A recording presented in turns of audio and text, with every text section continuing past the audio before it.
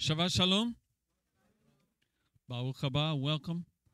Chatzoreim Tovim, uh, Tzahoreim Tovim, good afternoon. We welcome you to Harlingen Messianic Synagogue, to our teaching ministry.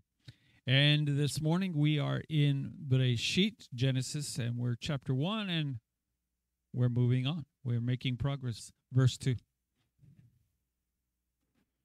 Okay, what the way we are teaching is uh, teaching uh, uh, line upon line, precept upon precept, verse by verse. Um, uh, we, we slowed it down. We're not following the parasha. Um, we are following. Uh, we're we're slowing it down so that we can take a deep look um, at what is going on in the scripture. So Genesis chapter one, and uh, we'll we'll just uh, we, we will read with you verse 1 and verse 2. Bereshit bara Elohim et hashamayim ve'et haaretz. Ve uh, uh, hayta ve'haaretz hayta tohu ve'bohu ve'choshek al pnei tachom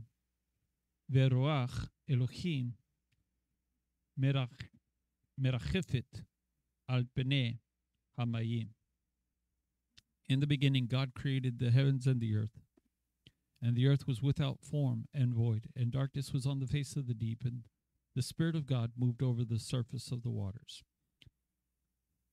Avinu Malkeinu, our Father, our King, we love you. We thank you for loving us, for watching over us. Father, for seeing us safely through this week, for bringing us together to worship you. And Father, to study your word together. We ask that you would bless us, all of us, as one with the light of your face. For with the light of your face, you have given us the Torah of life, the love of kindness and mercy. And Father, so we ask that you would teach us your way, that we might better serve you, Father, better understand you, have a better relationship with you. And so bless us now. May the words of my mouth and the meditations of my heart be acceptable in your sight. O Lord, my rock and my redeemer. Through the merit of Yeshua Mashiach, v'imru. Amen. And so this morning, we're going to talk about tohu vebohu. Everyone say tohu vebohu. Okay, a little rhyme there. Tohu vebohu. Tohu, say it. Tohu vebohu. Tohu vebohu. And those two words mean without form and void. What does that mean? What does that mean? What does it mean to us? And why is God sharing this with us? So the first thing understand is this. Um the, the, the I'm sorry, without notes again, so I'm trying to go through my my catalog up here and pull out the right card. Um so what the Chazal, what the sages teach us is that when God creates, and so we have a word uh, that says haita, haita. Everyone say haita, and that is that that uh, was without. That it was without. What it does not say is it became that the earth was without form. Haita. It was. So I'm sure you've all heard the different creation stories. And really, it, it came out really prominently in the 60s and the 70s, but it, it actually dates much further back than that. That there's a story that that God had created already that God had created the, the heavens and the earth. And that that creation went bust. And that there was another Adam and another Hava, there were other people that God had created. And this whole creation went bust. They just they blew it big time. And this all ties in with the story of the flood and the Nephilim and all of these kinds of things. And so that's why that the earth is this way. That the earth is in this chaos, is very chaotic. because there was this other created the, this other earth and it fell and so basically this is like so he does it he, he gets a, a mulligan he does a do-over with adam and chava strike two strike two so why am i telling you this i'm telling you this because that is not what the hebrew says the Hebrew does not give us room for that. Because the Hebrew says that it was, that it existed, not that it became. It's not that the earth became void. The earth was created void. It's not that the earth became without form. It was created without form. And in a couple of weeks, you will see why. When God says, Let there be light. In fact, that word, haita, everyone say haita, means that it was without form and void. But it also means that it fell out as form and void. Haita means to fall out, that it fell out. So, what if creation starts as a point of light which quickly expands to become the universe. And out of this light, because we're going to find out in a couple of weeks that everything is made of light. Everything. You are made of light. The chair you're sitting on is made of light. This room is made of light. Need I prove it to you? E equals mc square. Einstein's theory of relativity. Energy equals mass times the speed of light squared saying light is matter speeded up. Light is matter speeded up. Matter is light slowed down.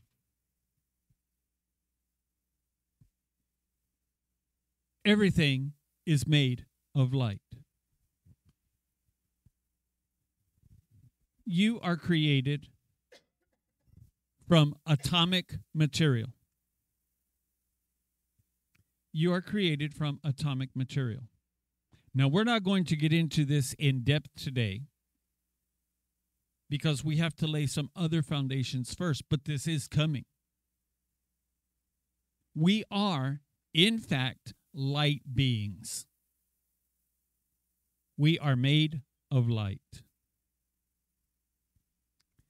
And some of the things that we're going to find out, because if you remember, I told you that there are some really cool things that to be discovered in the creation story. The children get their creation story, the plain, simple meaning of the text. You get the sod level, uncovering the mysteries that are hidden within the text.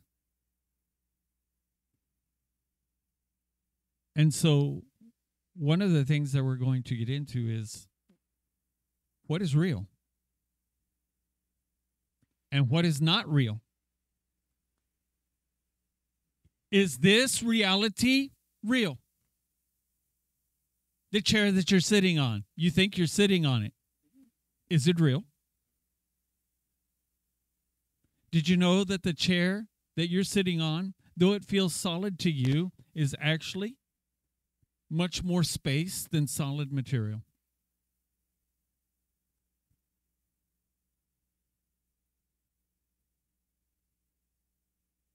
Because it is made up of molecules, and molecules are made up of atoms, and atoms are filled with space with only tiny particles.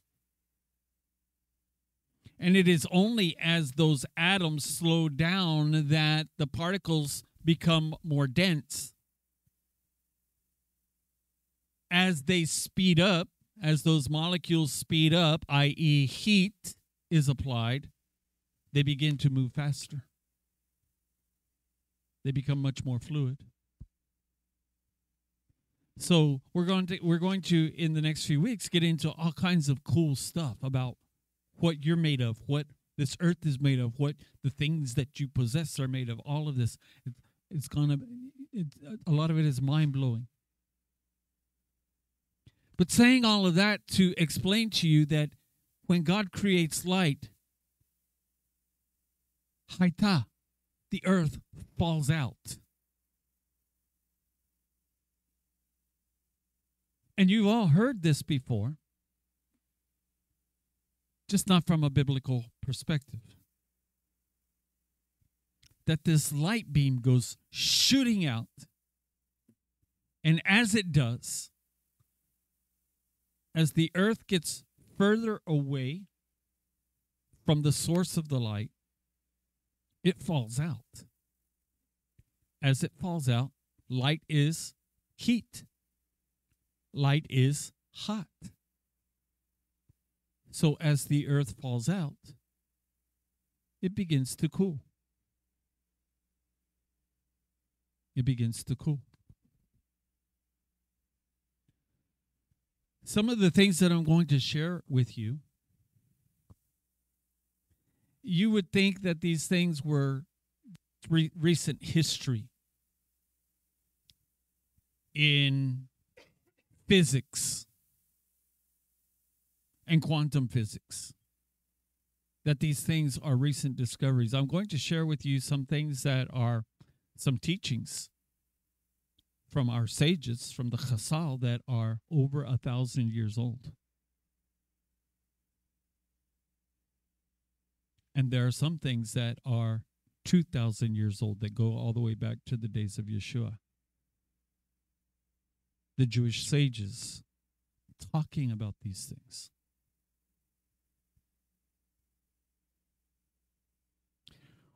One of the things that the sages bring forth is that in Genesis 1 1, Bereshit bara Elohim et By the way, there's a 2,000 year old discussion over which was created first, the heavens or the earth. The house of Shammai. Now, so we're, you understand we're talking all we're going all the way back to pre Yeshua days. The house of Shammai. These are the Prushim, the Pharisees. The house of Shammai said that the heavens came first. Because Genesis 1 1 says, In the beginning, God created the heavens and the earth. But the house of Hillel, because if you know anything about the house of Shammai and the house of Hillel, if the house of Shammai said this, the house of Hillel would say that. If the house of Hillel said this, then the house of Shammai would say that.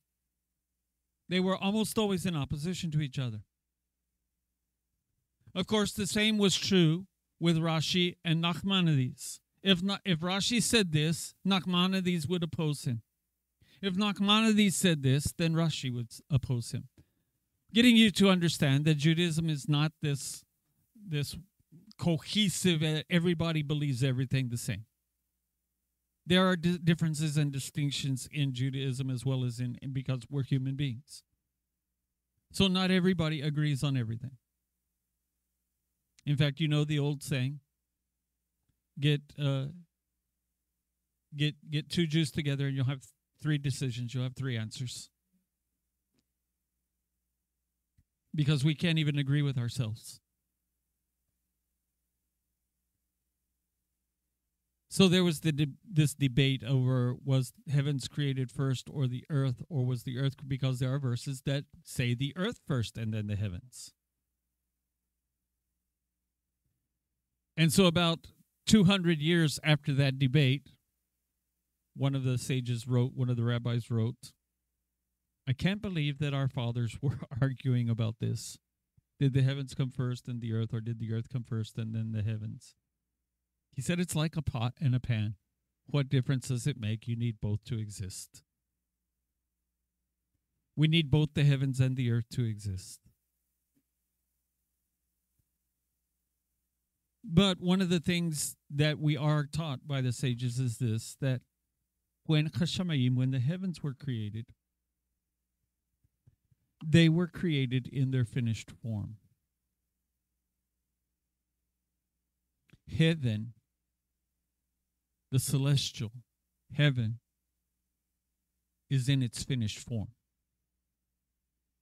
Where the malachim, where the angels exist, it's it was already finished. It was finished as soon as it's created. It's created in its finished form. However, the earth is not.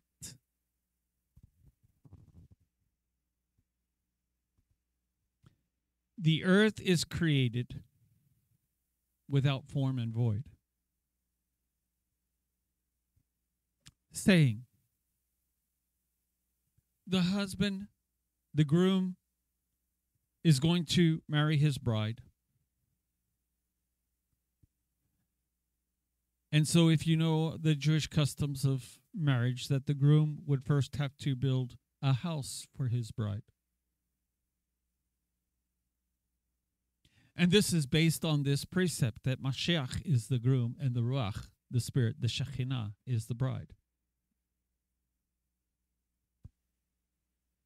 And so the Mashiach is building a house for his bride. And those of you who have done some of the tree of life with me, you'll remember that Malchut, the kingdom, is the domain of Shekhinah, of the bride. Saying this earth, and we're going to see this next week, this earth is the domain of the Spirit.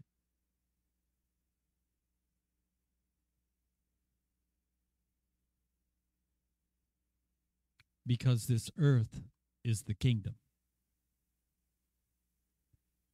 And the kingdom is the domain of the Shekhinah. And the Shekhinah is the bride. You say, but I thought I was the bride. We were the bride. Because you are the temple of the Spirit who dwells in you. Do you remember those words? You are the bride in that the Shekhinah, the Spirit, the Holy Spirit, the Ruach HaKodesh lives within you. That's what makes you the Spirit. Or excuse me, that's what makes you the bride. And so, Malchut, the kingdom, the kingdom of God, is like this the kingdom of heaven is like this. You remember those parables? That's the domain, that's the residence, the dwelling place of the Shekhinah, of the bride. So Mashiach is preparing a place for his bride, the Shekhinah.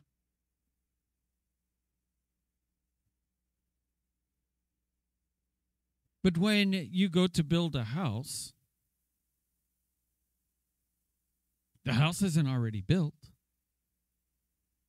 You don't twinkle your nose, wiggle your nose, and abracadabra, and poof, there's the house all built. You wish. What do you do? It comes in piece by piece, by, part by part. First, they come bring in the concrete the the the foundation has to be dug and and the rebar has to be laid out and the concrete poured in and then the lumber's delivered and the the the the roofing is delivered and the siding is delivered the sheetrock is delivered everything's delivered and there it is all piled up out there on the property That is tohu. Saying your house in essence is there, it just needs to be put together. Idea, right? It just needs to be put together.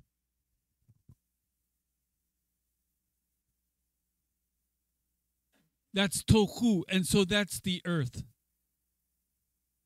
When the earth falls out, when the earth comes into being,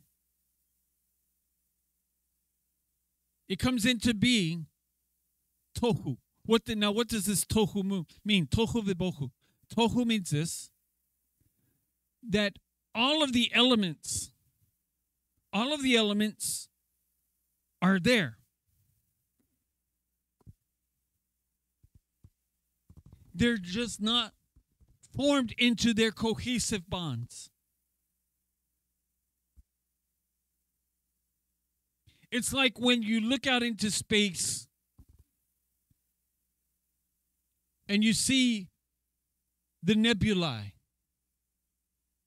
the clusters made up of gas and dust, all kinds of molecules and atoms. That's tohu. There's no form to it. They're just there existing. All the building materials for the planet are there swirling around. But there's no form to it. That is tohu. And what can live in such a place? What can exist in such a place? That is bohu, where nothing can exist because there's no form.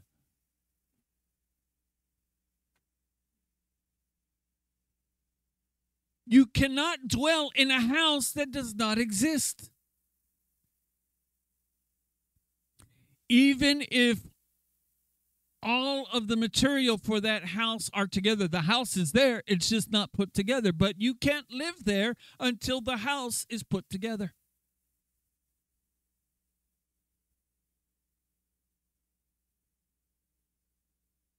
And so, what we have here, and the earth was without form and void, v'cha'aretz, haita, tohu vebohu.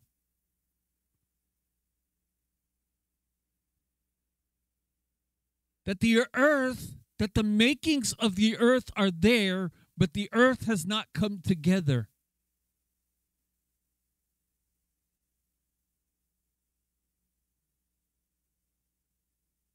It's just a massive swirl of gas and dust and fire and heat.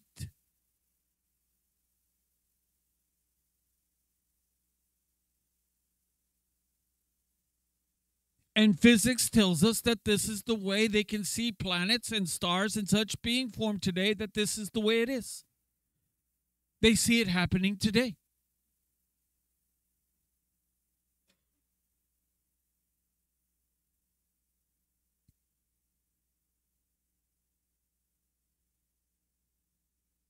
Now, the issue, one of the issues is this because they will tell us that it took millions upon billions of years for the earth to form.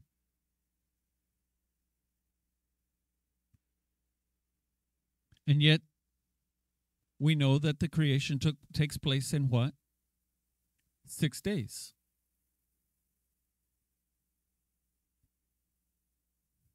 Except, and so there's this there's this big debate between evolutionists and creationists.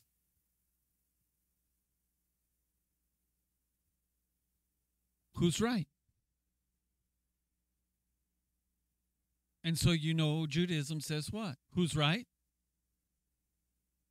Yes. It doesn't have to be this or that. It can be both.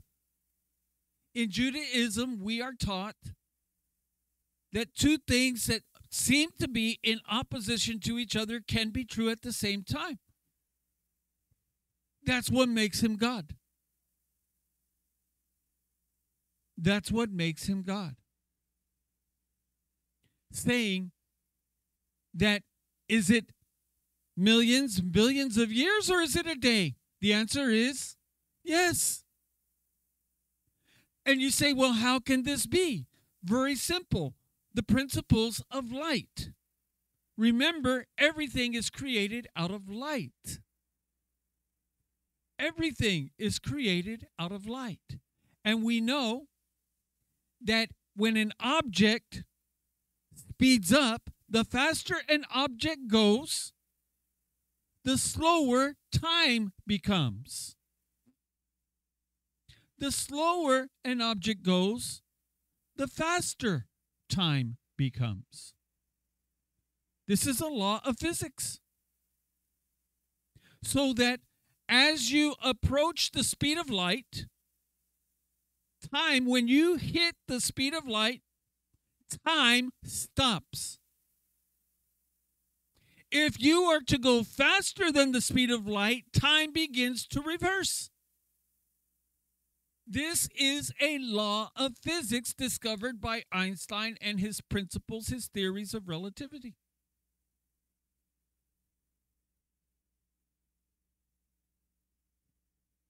Therefore, something that is traveling faster than the speed of light, time is actually going in reverse.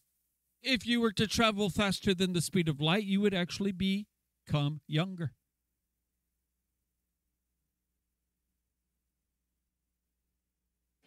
If you are traveling at the speed of light, time stands still.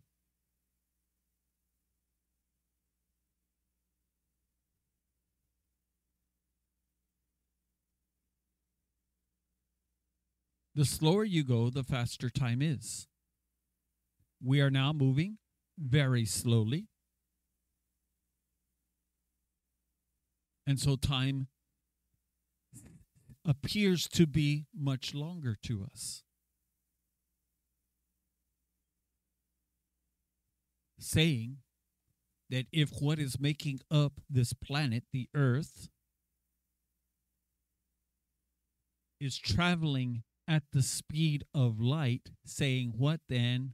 Because everything is first traveling at the speed of light, saying what then?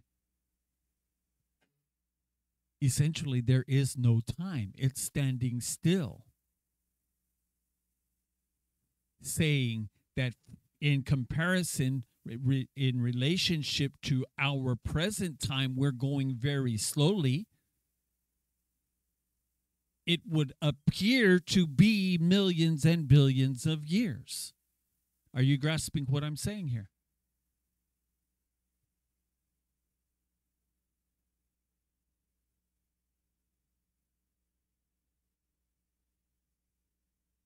So that the faster that the that a particle that something is traveling the slower its time is. As it begins to solidify then what? It can no longer travel at the speed of light. It begins to slow down. It begins as it begins to slow down because everything has gravity to it you have gravity to you. It's just that your gravity is less than the gravity of the planet because the greater something is, the more of a gravitational pull it has, the more gravitational energy it has. So the Earth has tremendous gravitational energy. The moon has much less. This is why, if you want to be a basketball player, you need to play on the moon. You can jump much higher, but you will still fall back down to the moon. There is a gravitational pull to it the gravitational force of the sun is immense, so immense that it has caught all of this solar system into its gravitational pull. The reason why we don't fall into the sun is centrifugal force, that the power of our rotation around the sun is an equilibrium against the gravitational pull of the sun. If we were to stop moving, we would be pulled into the sun.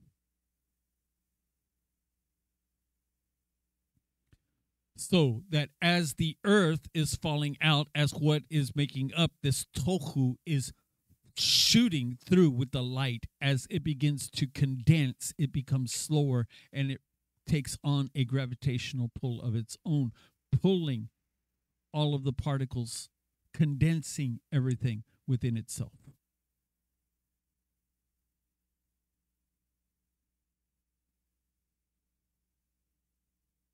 now mind you what i was telling you and this is why i Sorry, I don't have my computer because I could quote you directly from the sages from a thousand years ago, not the 1920s, when Einstein was developing all this theory. Einstein, Einstein was a Jew. And he was taught Kabbalah. These are actually Kabbalistic principles from sages, from rabbis who lived many hundred years before Einstein existed.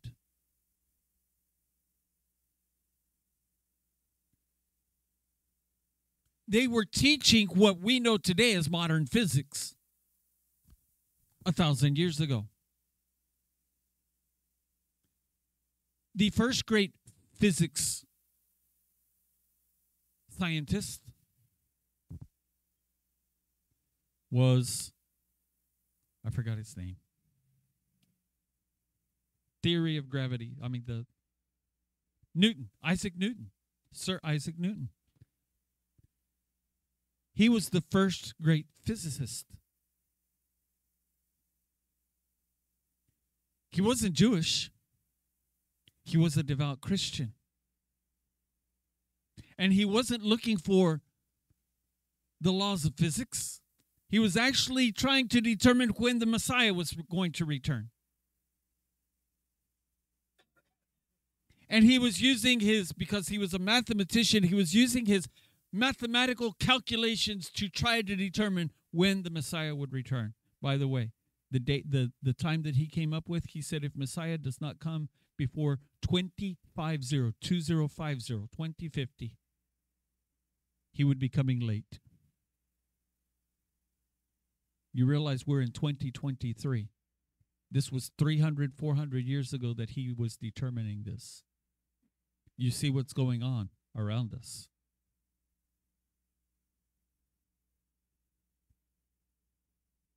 How did Sir Isaac Newton come upon his, his calculations? Kabbalah. He studied the Jewish sages, he studied Zohar.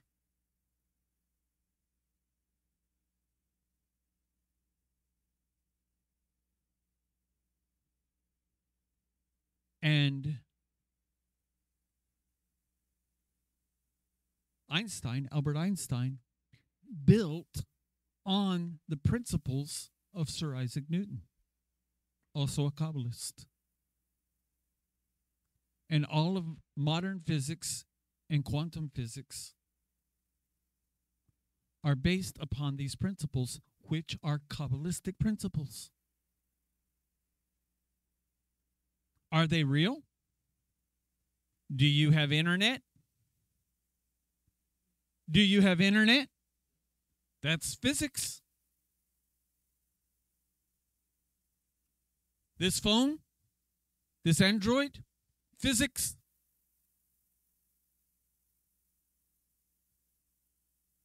The the power that is within this Android is more than the power that I had in my first computer in the early 1990s.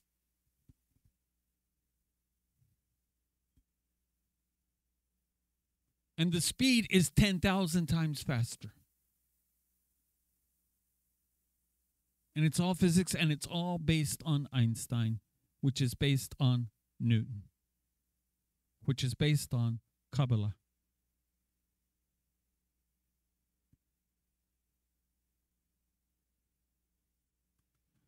So, what the sages taught us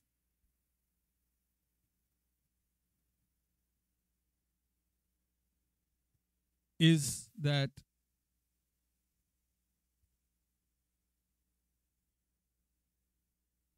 um hang on just a second that the Saadia Gaon, one of the great rabbis from almost a thousand years ago, that this word tohu means that everything is unformed. That everything is unformed. Um,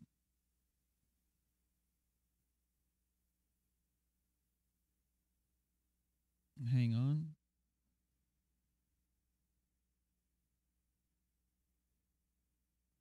So that all of the so that all of the um, all of the elements are there, but they're not cohesive.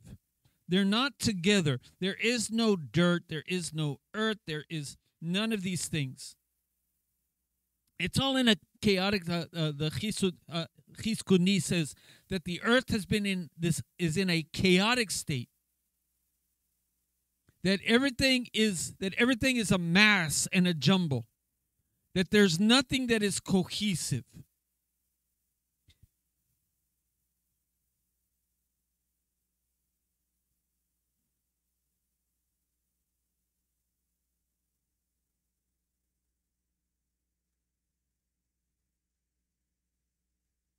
So the the the uh, Haamek Davar says this: the name rests on something that is not distinguished or differentiated from anything else. So, in other words, looking at the earth in this state, in this form, you can't distinguish between this and that. For example, we've all seen the the pictures of the earth from like the moon and from you know the spacecraft and all and you can see where the water is and you can see where the land is.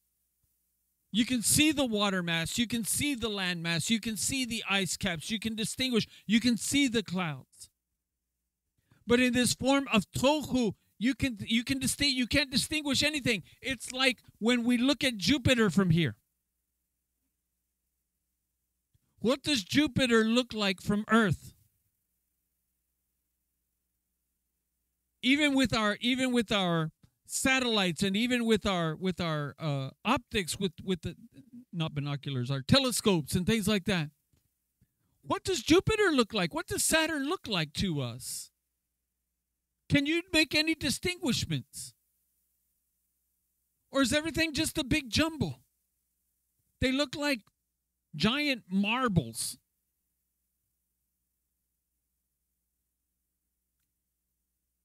Neil brought me a marble last night, and he was playing with it. And he said, "Look, grand, look, Grandpa, I got a marble, and it was one of those, uh, you know, that that's got all the colors all swirled in and mixed in. It looks like, and that's the way Jupiter looks from here on the Earth with our telescope. You can't distinguish. You can't tell the difference between water and land because it's all a big chaos. It's all chaotic.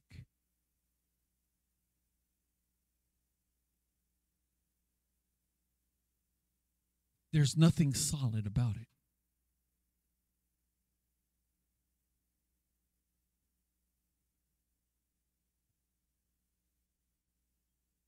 And it's heated nothing can exist.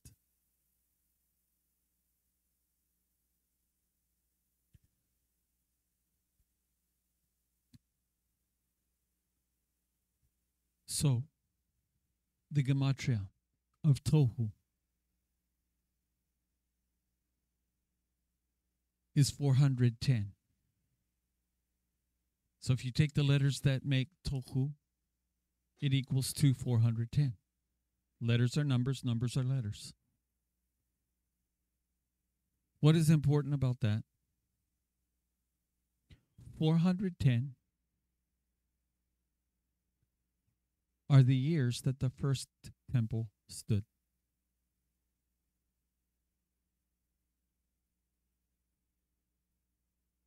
And then it was destroyed. The Bohu is 220 years. 400, excuse me, 420 years. 420 is the number that the second temple stood before it was destroyed. If you put the whole sentence together, it equals, you ready? 2000.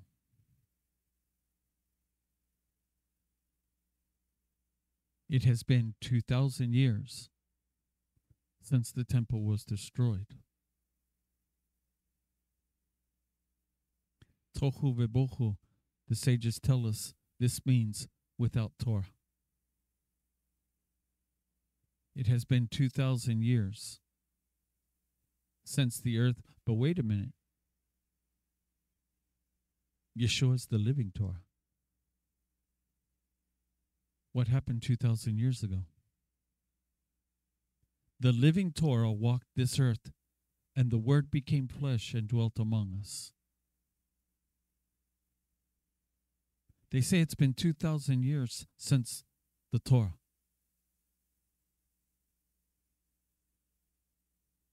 That we have been living in darkness since the destruction of the temple. Yeshua told them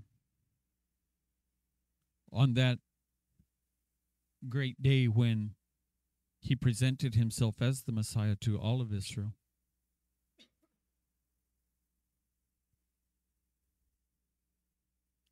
And the Kohen Hagadol, the high priest, came out and told them, told him, told the people to be quiet because they were saying, Baruch haba b'shem Adonai, Baruch haba b'shem Adonai, Baruch haba.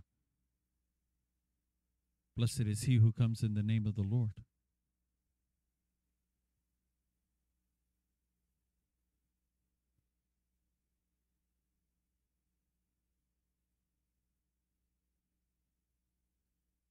And he turned to the priest and he said, You will not see me again until you will say, Baruch haba Adonai. And he turned around and he walked away.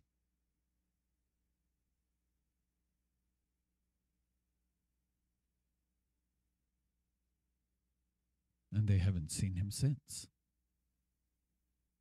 These 2,000 years.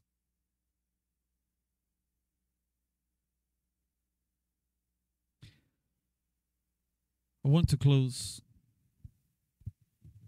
with a very interesting. By the way, Rashi says that this word tohu it signifies astonishment that there is so much chaos that you're astonished with it. You can't understand it. You can't comprehend it. You're just struck.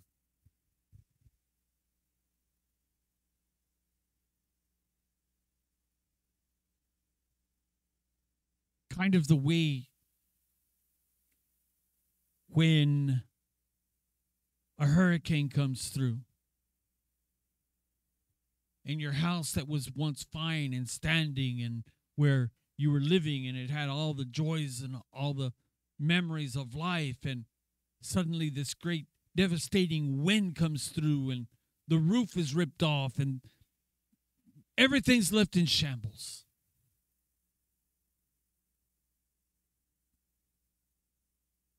It's the way when Hamburg was bombed by the British in World War II.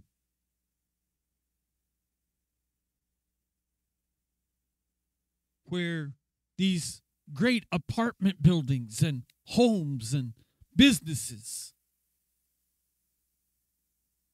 a city the size of San Antonio, almost completely demolished to where people could not even it was it became so unrecognizable people could not even find where their home used to be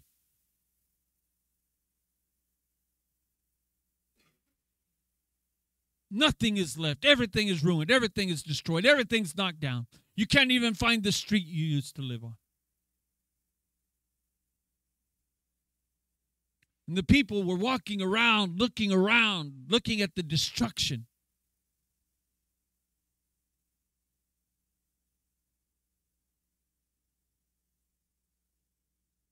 And you have heard me say in our very first teaching on these subjects uh, in, on my very first teaching of Genesis, I told you, in order for you to understand the ending, you must understand first the beginning. In order for you to see and to understand what's coming, what is coming, what is coming to us, what's going to happen. You must first understand the beginning. Why? Because the ending will be as the beginning.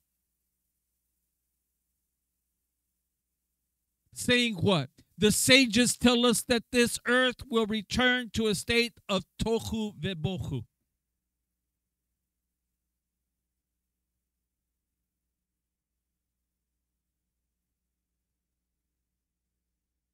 They tell us that there are three times in which this state occurred. The first was upon creation. The second was upon the flood of Noah. Tohu vebohu.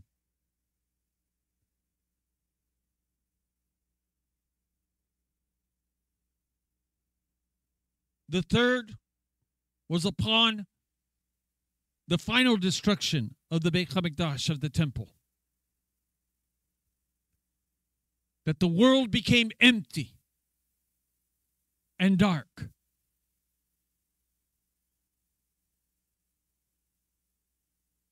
The fourth will be at the coming of Mashiach.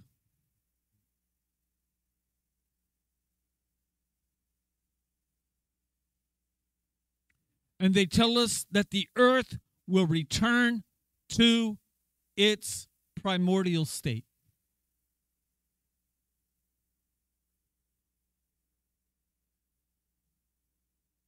that the earth is going to return to its pre creation state. Due to the wickedness of mankind.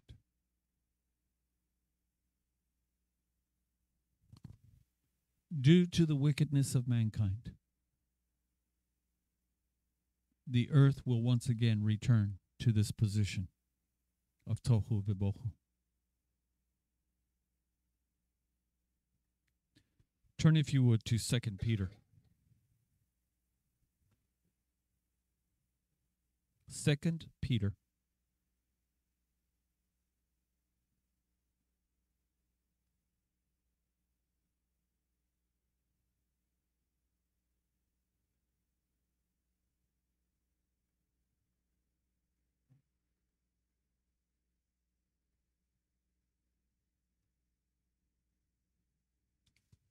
Chapter 3.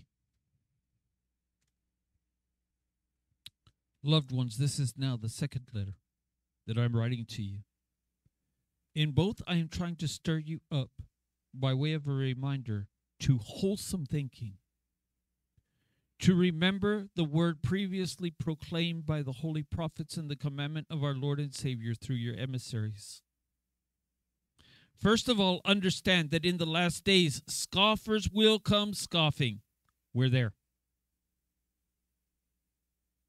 Scoffers will come scoffing, following after their own desires and saying, Where's the promise of his coming? Ever since the fathers died, everything goes on just as it has from the beginning of creation. For in holding to this idea, it escapes their notice that the heavens existed long ago and the earth was formed out of water and through water by the word of God. That's the tohu vebohu. The next verse, the next section of that verse tells us that darkness covered the earth and that the spirit of God hovered over the water. The earth was a water world. And by the way, this is where the flood comes from. And we're going to talk about that. Because people say, well, where did all the water come from? Well, where did all the water go? If it all covered the earth, where is it now? Well, they have an answer for it. It's here. It's here. I'll just tell you there's more water under every continent. There's so much water under every continent, under all the continents, I should say, that scientists, I just read an article on it two days ago. Scientists say that it is sufficient water to cover the entire earth, to turn this world back into a water world. There is sufficient water to cover the entire planet. And I mean to cover, I mean no land visible.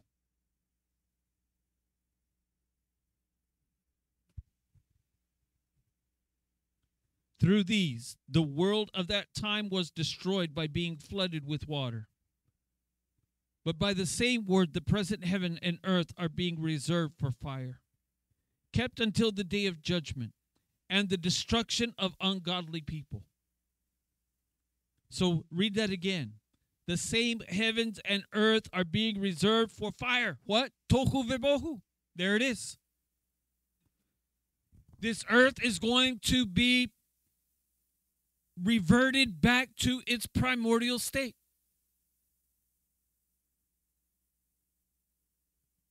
It's going to go back. Why? Because of the ungodliness that exists here. The first time he took it back to Tohu Vebohu using water, that is back to its secondary state. Because first it is Tohu Vebohu then it becomes water. Then the, the particles settle out and the water comes up. And it's covered by water. And so for the flood, he takes it to its secondary state. But this time he's going to take it back to its primary state of fire. Of a point where you cannot distinguish one thing from the other. Verse 8, but don't forget this one thing, loved ones, that the that with the Lord one day is like a thousand years, and a thousand years is one day. There it is. How can a day be this long length of time? And how can this long length of time be in a day? Time stops. The closer you get to the speed of light, the slower time goes. And when one passes the speed of light, time begins to reverse. How is it that this world that scientists look at this world and they say it's millions, billions of years old. That's how. Because relative to our position today and the speed at which we're traveling today, time is much slower. It goes by much more slowly.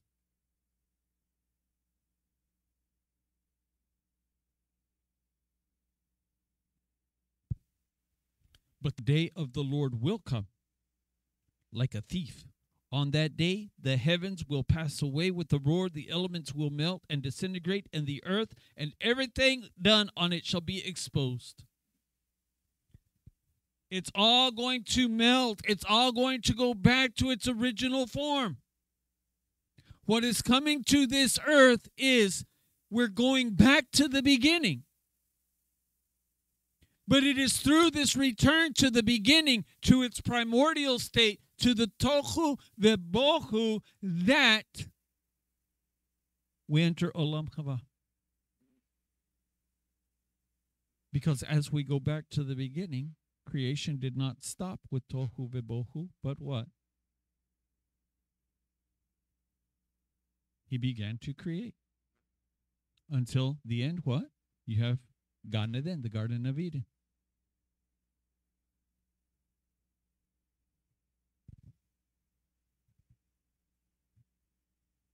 Verse 11 Since all these things are to be destroyed in this way, what kind of people should you be? Live your lives in holiness and godliness, looking for and hastening the coming of the day of God. In that day, the heavens will be dissolved with fire, and the elements will melt in the intense heat. But in keeping with his promise, we look for a new heaven and a new earth where righteousness dwells. He's going to, and the word that is used here is Chodesh, like Rosh Chodesh, what we did today, the new month, but it's but is the moon the new moon is the moon new? No, it just recycles. So it's not that he's going to go all the way back to uh to Ein Sof and start all over again. He's going to recycle us, recycle the earth, the heavens and the earth. He's going to renew them. He's going to make them again. But the warning to us is this. And this is what we should take from this. What does Kepha, what does Peter say here? Seeing what is coming. How should you be living your life?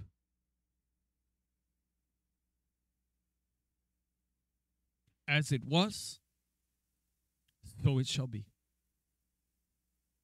But knowing that as it was is returning to us, so it shall be, knowing that these are so,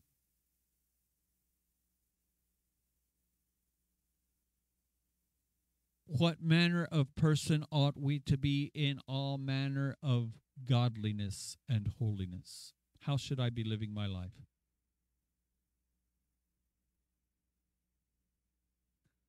This is why we are warned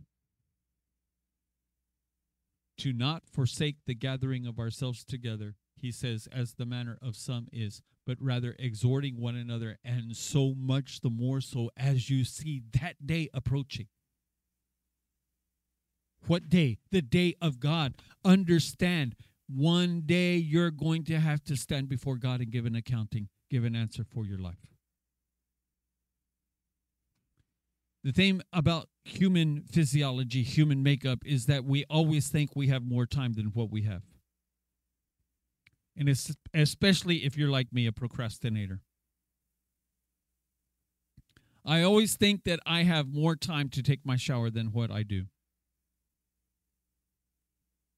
Thus, I'm always running late.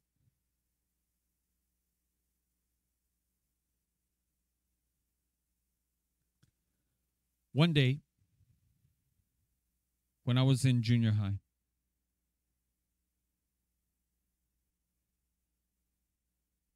I got off the bus with my report cards. The news was not good. I had a couple of D's and an F.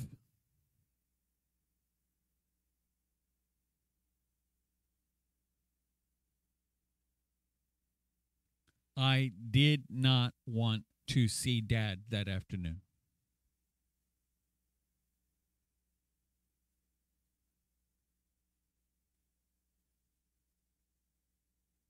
Thankfully, dad was not home when I got home. Yes. Put it off a little bit.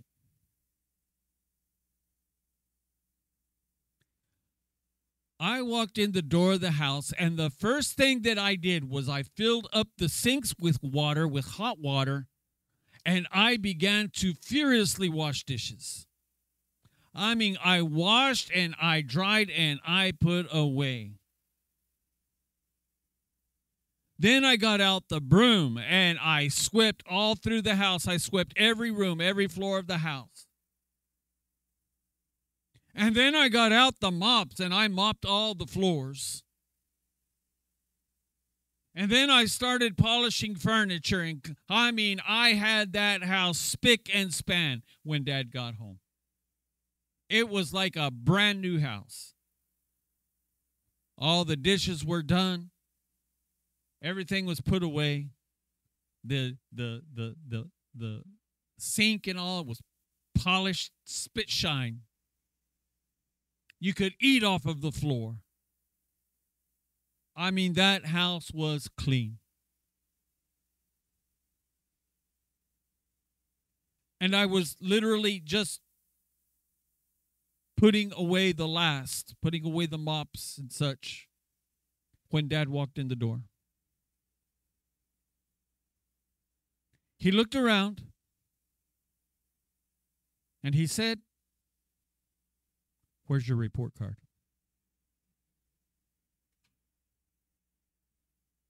With much fear and trembling, I pulled my report cards out of my back pocket and handed it to him.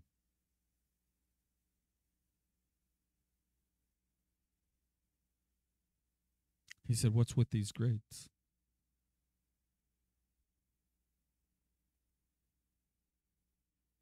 I just stood before him, nothing to say. Put my head down, wouldn't look at him.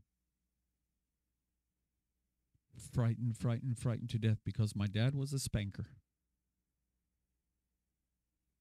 And he used a belt. And it hurt. He left welts.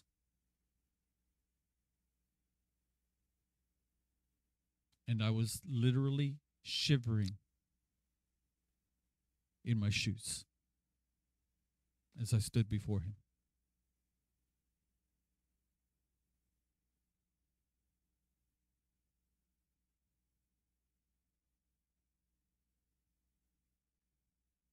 And he told me no after school events, no sports, and no TV for six weeks. And he turned around and walked away.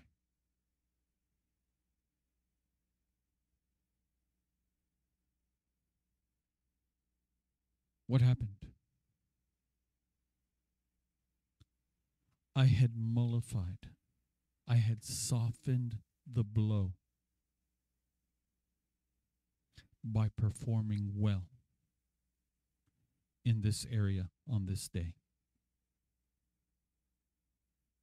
I knew that judgment was coming. And so I softened the anger by doing things that he would find pleasing. Even though this aspect of my life would be displeasing to him, this aspect of my life was pleasing to him and it softened the blow. Do you understand what I'm saying? You've done not so good. You've stumbled. You've fallen. But judgment's coming. And it's coming faster than you consider it.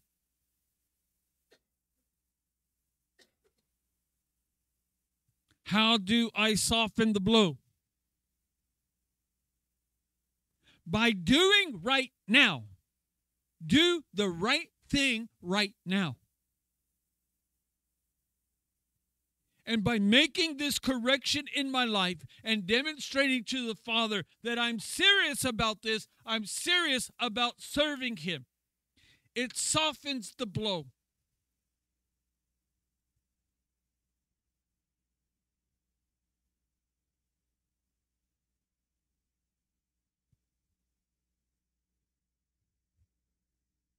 Because we all must stand before him one day. And when we stand him, we all must go through the fire.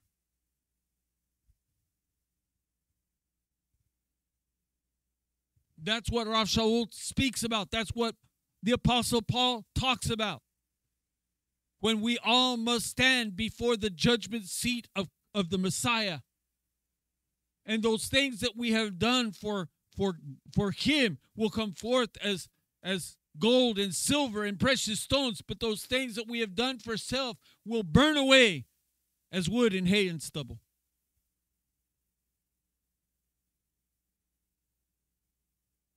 So we have a stack of old lumber that I've cut up into pieces and we slowly we uh, we slowly burned them down. Old buildings that, that we had on the property and things like that. The kids remodeled the house when they moved in, and so a lot of the old lumber and everything, and so it's all stacked up. And I have a fire pit there, and and every once in a while I'll go out there. So uh, a couple of days ago, uh, Thursday, I went out there, filled up the fire pit, started a fire.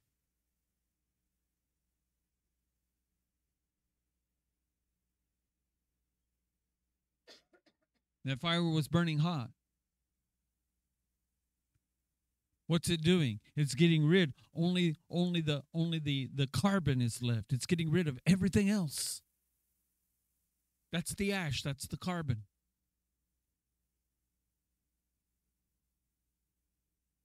And it does it with intense heat. So hot was the fire that I I, I was going to put more wood on it and the fire was was hot the coals were so hot i had a stick to pick the lid up of and and the, it was so hot that it it burned my my hand singed my singed my hair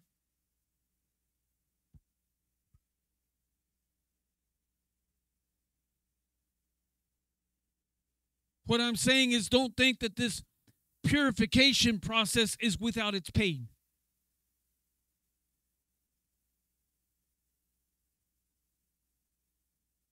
When we have to stand before Him and He strips us down to nothing except for what we have done that pertains to Him, and everything else is stripped away.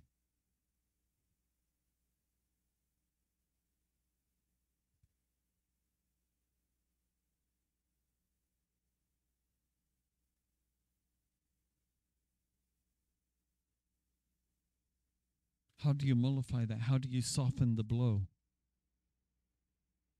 By doing something about it now, today.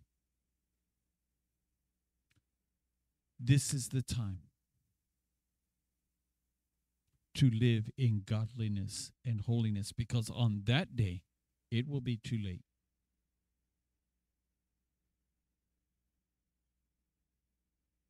You have the opportunity today to do something for the King of Kings, to make the changes in your life that need to be made. Because the day is coming. You know this is true. It is there before you. The day is coming when this earth will revert back to tohu vebohu, and it's not going to be a good day for humanity.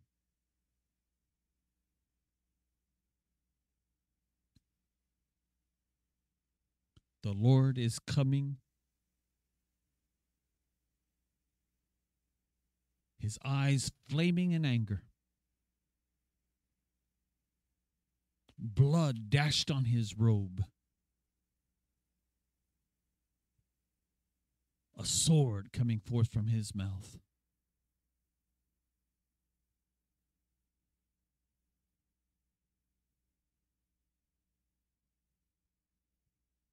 And hundreds and thousands of people will be destroyed in an instant.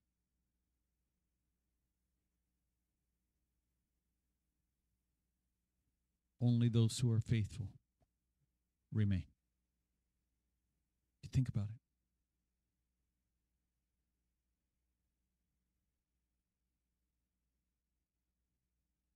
Is today's pleasure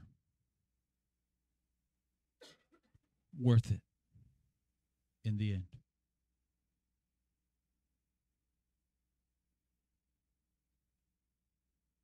Is the momentary pleasure,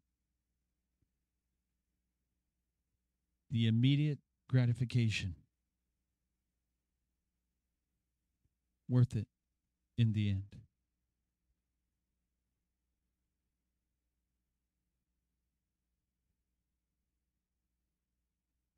Papa's coming. One of the things that we used to do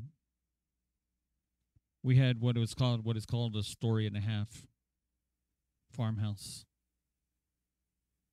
Had a downstairs, the upstairs, the upstairs, the room follows the slope of the roof. So over in the corners, it's only about four feet tall, and then up in the roof, it's about 10 feet tall. Up in the middle.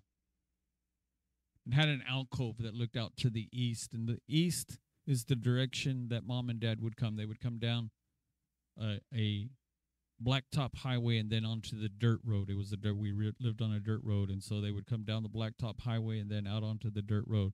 So, and there was hardly anybody else that lived out there, so you could actually see mom, mom and dad coming home several miles away.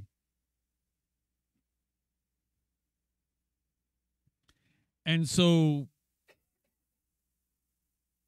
certain ones of us would be appointed to be the lookouts because mom and dad would always give us a list of chores to do before they got home. And so there would be certain ones of us who would serve as lookouts, and we're supposed to be looking out, and we're looking from this alcove up on the second floor, looking out. We could see for, for several miles, watching for that car to appear because that would give us approximately two, three minutes, four, to try to catch up on all the chores and at least get something done.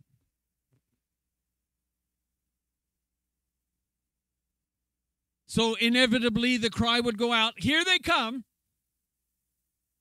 And it became a frantic, mad dash. Before that, it was playing around and playing around. But you know, the longer the longer the time took, the closer we knew the timing of his coming was, correct? Until inevitably the cry goes up, Here they come. And now it's the mad dash. Whatever isn't done, get it done. And do it quickly. And all hands on deck. Everybody, everybody involved.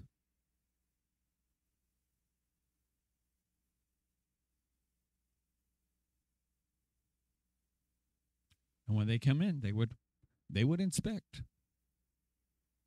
Dad would walk through the house. And he would note the things that had been done and he would note the things that had not been done. One of his favorite tricks was to put a dollar bill under the sofa. Why? Well, if you didn't sweep there, you didn't find it. But if you swept there, you got to keep that dollar bill. He didn't do it every time, but he did it sometimes, often enough to where we learn to sweep under the sofa frequently. He comes and his reward is with him. For those who have done good, he brings goodness. For those who have done evil, he brings judgment.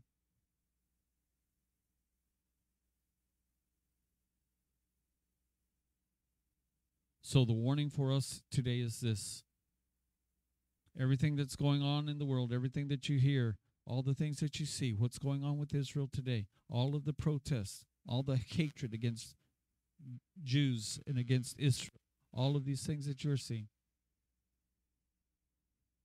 These are all hints telling you time is running out, time is running out, time is running out, time is running out. You're running out of time. Isaac Newton said, if Mashiach returned by 2050, he would be late, according to his calculations. Look at what you're seeing going on. We're there. We are there. I'm not saying he's coming today or tomorrow. He may. I'm not saying he's coming today or tomorrow. I'm saying we're there. We're at the end. He's giving you all the signs he foretold. Everything he's talked about, it's coming true. Right before your eyes. You're watching prophecy come to, to pass right before your eyes. What then? Are you going to be one of the ten virgins? Are you going to be five the five virgins who whose lamps were filled with oil and they were prepared for the coming of the groom? Or are you going to be the five who didn't care? didn't care enough until it was too late, and then you're left out.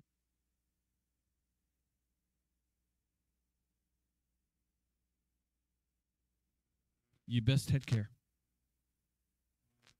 and take care that you're being careful in how you're living your life. The things that you're neglecting,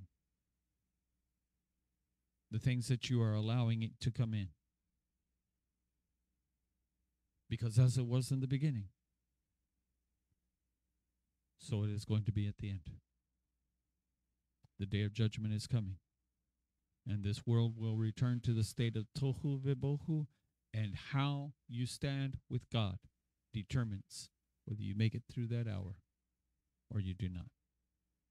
Avinu Malkeinu, our Father, our King, we love you. We thank you for your love for us.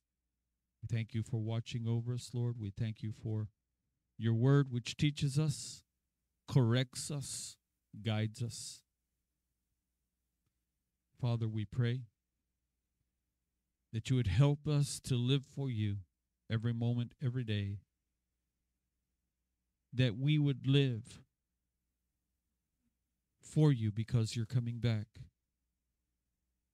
to judge, to weigh us, to put us in the balance, to see how we measure up. And so we ask that you would help us to live for you, to be godly, to be holy in every aspect of our lives, to follow your word, to do what we're commanded to do, and to not do what we're commanded not to do. That when you come, you would find us as a people in service to you. Give us strength, give us courage. We ask these things through the merit of Yeshua Mashiach. Let us stand for the blessing, please.